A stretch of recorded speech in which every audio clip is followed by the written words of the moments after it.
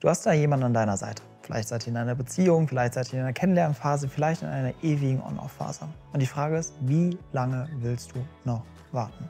Und in diesem Video werden wir darüber sprechen, ob sich dieses Warten letztendlich lohnt, was vielleicht das drunterliegende Muster ist und wie du es endlich schaffst, dass aus dem Ganzen wirklich eine erfüllende Beziehung wird. Ich bin Emanuel Erk, Beziehungscoach und Therapeut und freue mich darauf, mit dir jetzt in dieses Thema einzutauchen.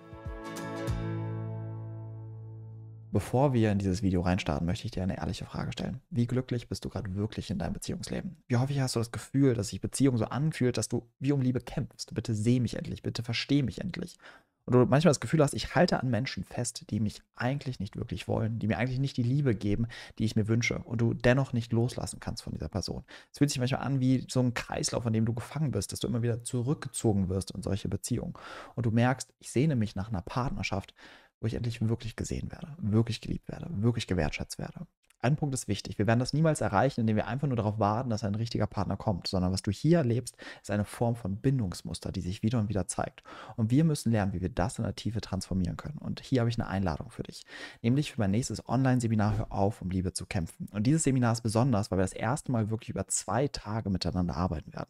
Wir werden Samstag und Sonntag uns ausführlich die Zeit nehmen, tief einzutauchen in diesen Prozess, weil diese Themen sind nicht etwas, die man mit einem Tipp, mit einem Ratschlag einfach aufheben kann, sondern es braucht tiefer liegende Prozesse, dass wir das wirklich transformieren können und dadurch endlich Raum schaffen können für einen Partner, der uns wirklich liebt, wirklich sieht. Ein Partner, wo ich mich wirklich wie zu Hause fühle. Und wenn du dich danach sehnst, lade ich dich ganz herzlich ein zu diesem Online-Seminar. Und das Wichtigste ist, das Ticket ist für dich vollkommen kostenlos. Und deswegen sichere dir jetzt noch schnell dein kostenloses Ticket. Mach das Video kurz auf Pause. Du findest den Link hier unter diesem Video und dann freue ich mich, dich beim Online-Seminar zu begrüßen. Und jetzt gleich, wenn du ein Ticket gesichert hast, geht es hier weiter im Video.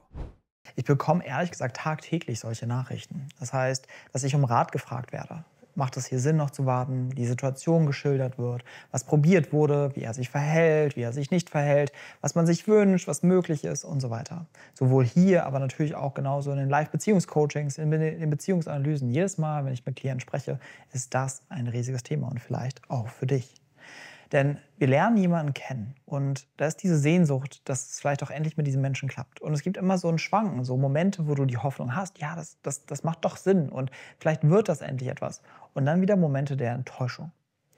Und um hier an dieser Stelle jetzt eine Lösung zu finden, geht es nicht darum, eine Pro-Kontra-Liste zu schreiben. Es geht nicht darum, abzuwiegen, lohnt sich das, lohnt sich das nicht, sondern wenn du mich und meine Arbeit kennst, weißt du, dass wir jetzt hier mal dem Ganzen in der Tiefe auf die Spur gehen. Was ist drunter liegend vielleicht ein Thema, das du genau das erlebst? Bei uns muss klar sein, dass was wir hier gerade beschreiben, ist eigentlich eine Form von Dynamik, die wir in Partnerschaften erleben können. Und jede Dynamik ist nie aus Zufall da, sondern dass ich einfach einen gewissen Zustand in Beziehung wieder und wieder erlebe, eine gewisse Erfahrung mit jemandem wieder und wieder erlebe, hat damit zu tun, dass ich erlernte Beziehungsmuster habe, mit dem ich unter anderem genau das erhalte.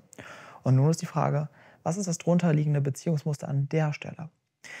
Nämlich, du hast in deinem Leben gelernt, zu warten auf die Liebe von jemand anderem. Du hast gelernt, dass du dich anpassen musst, dass du dich mit wenig zufrieden geben musst für die Liebe von jemand anderem. Das heißt, meistens war auch in deiner Kindheit Liebe nicht etwas, was super viel und Übermaß da war, sondern auch hier war es entweder von einem oder von beiden Elternteilen immer so ein Gefühl, um die Anerkennung kämpfen zu müssen. So ein Bitte Papa, seh mich, bitte Papa, lieb mich, bitte Papa, nimm mich wahr.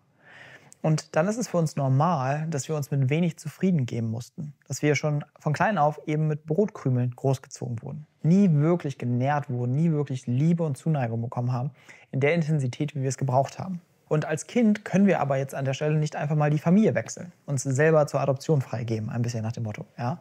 sondern wir müssen damit zurechtkommen. Und wie machen wir das? Wir machen das, indem wir lernen, uns mit wenig zufrieden zu geben. Und in den meisten Fällen immer an uns zu zweifeln. Dass du das Gefühl hast, vielleicht will ich ja zu viel, vielleicht bin ich zu schnell, vielleicht habe ich zu hohe Erwartungen, ja, vielleicht ist mit mir irgendwas nicht richtig. Aber ich muss dir sagen, dass es normalerweise ein Anzeichen für Bindungstrauma ist. Wenn ich anstatt Grenzen zu setzen, immer darauf warte, dass es mit dem anderen irgendwas wird.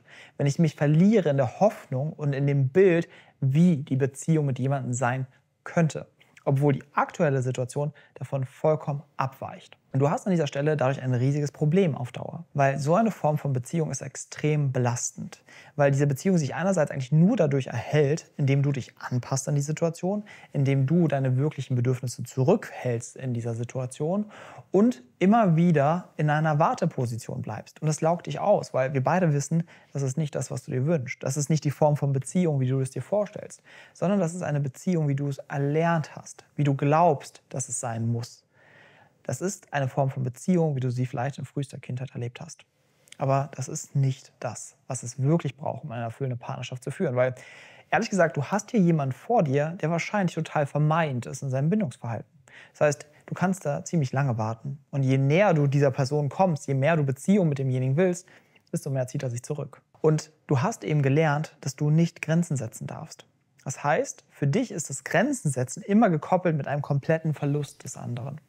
Das heißt, wenn ich sage, was ich wirklich will, wenn ich auftauche mit dem Rahmen, der für mich in einer Beziehung dazugehört, werde ich enttäuscht und werde ich verlassen am Ende. Ich darf bloß nicht belastend sein für den anderen. Und das ist natürlich etwas, was immer wieder angetriggert wird in diesen Situationen. Und deswegen neigst du dazu, dich wieder und wieder und wieder zurückzuhalten innerhalb dieser Beziehung. Immer wieder in diesem Punkt zu bleiben. Und das andere ist, du bist quasi im Diätmodus, im Beziehungsdiätmodus. Du hast gelernt, mit wenig zurechtzukommen. Mit wenig Liebe in der Kindheit und auch heutzutage mit wenig Liebe in dieser Partnerschaft. Und deswegen kannst du Situationen aushalten, die für andere unaushaltbar ist.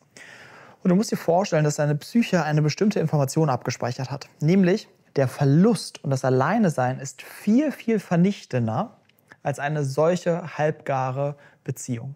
Das heißt, für dich ist die, der Komplettverlust des anderen viel, viel schlimmer, als in so einer halbgaren Lösung dauerhaft zu verweilen. Weswegen ist das so? Weil in der Kindheit wir und die Beziehung zu unseren Eltern als Lebensversicherung brauchen. Kinder kommen nicht alleine zurecht. Kinder können nicht einfach ohne ihre Eltern leben, sondern der Verlust der Eltern bedeutet für uns eigentlich in frühester Kindheit der Tod. Und wenn ich eben die Erfahrung gemacht habe, ich kann nicht ich sein in Beziehung und mich darauf verlassen, dass Mama und Papa bedingungslos bleiben, dann habe ich genau diese Ängste mir abgespeichert. Und werde auch als Erwachsene eher diese Tendenz haben, eher mich an jemand festzuhalten, der mir immer wieder die gleiche Erfahrung gibt, wie ich sie bereits in meiner Kindheit erlebt habe. Und nun musst du dir klar sein, dass hier an der Stelle ein wichtiger Entwicklungspunkt ist. Das heißt, was hier entscheidend ist, ist nun wieder Zugang zu bekommen zu seinen eigenen Grenzen, sein Verlusttrauma und seine Verlustängste aufzuarbeiten. Und dann wirst du meistens eine neue Perspektive auf diese Beziehung haben. Du wirst nämlich auf einmal merken, das ist vielleicht gar nicht die Beziehung, wie ich es mir vorstelle.